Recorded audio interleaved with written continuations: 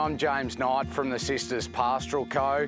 We farm at a location called the Sisters, which in southwest Victoria, and for those that don't know that region, we're approximately two hours west of Geelong and 30 or 40 minutes north of Warrnambool. We run a commercial Angus breeding operation where all progeny, both female and castrated males, get taken through to 400 to 500 kilos. We're a perennial pasture-based system in a rainfall belt of 650 to 700 millimetres and farm just over 2,200 hectares over three properties.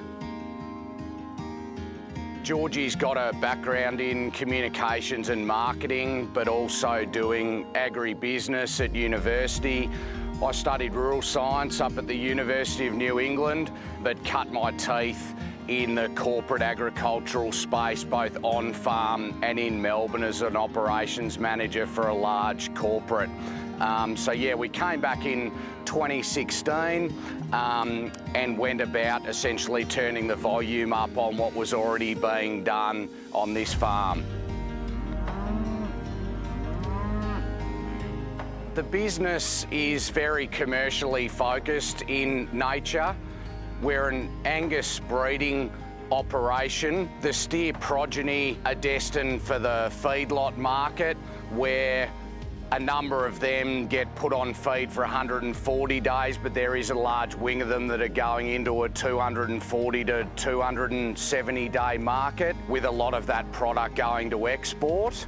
As we've expanded reasonably aggressively since we've come back, we are looking for a fertile, functional cow herd that has strong growth and carcass characteristics essentially. That is why we're in Angus and why we choose Angus genetics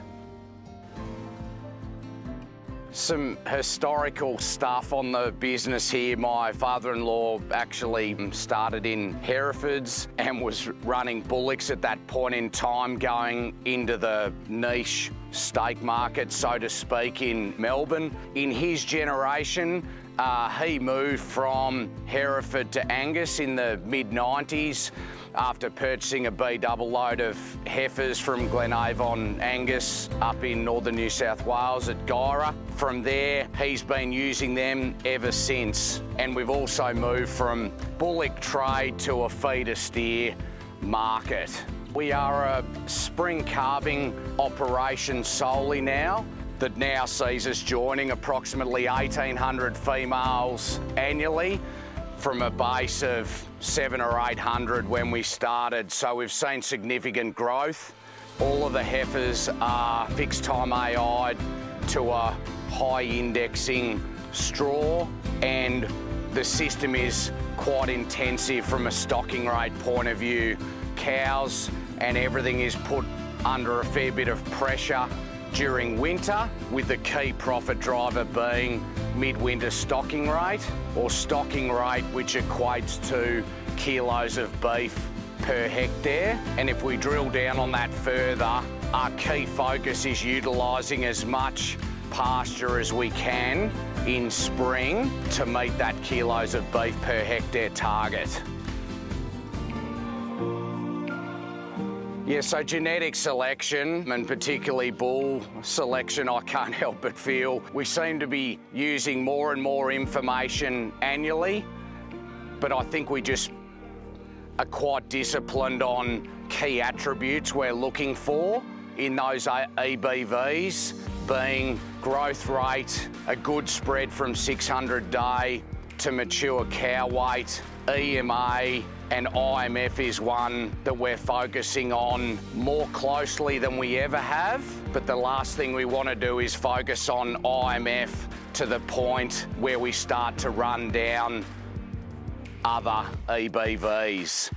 So We put a lot of work into bull purchases each year. We're buying approximately 10 to 12 bulls a year as a replacement of bull team of 40 to 50 head. I think if there's anything that I've got to do in this generation or that concerns me is I've got to make sure that the strong herd that we inherited or fortunate enough to take on, that I can see those attributes carry on for the next 40 or 50 years. So my father-in-law plays a key role in bull and genetic selection. And what he's very good at is that phenotypic stuff that we look for in a bull. And that's what we're going to first and foremost before any other figures that what we're buying is actually going to be functional and fertile in a commercial system and that we're going to have bull longevity. And if my father-in-law's taught me anything, it's that progeny and what we sell has to add value to the rest of the supply chain. So we're very focused on making sure there's value for others post-farm gate.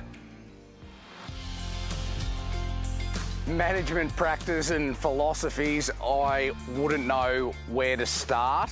I'm very data and evidence focused in our decision making. To getting some feedback on our livestock, we realised we had the right animals and they were the right breed.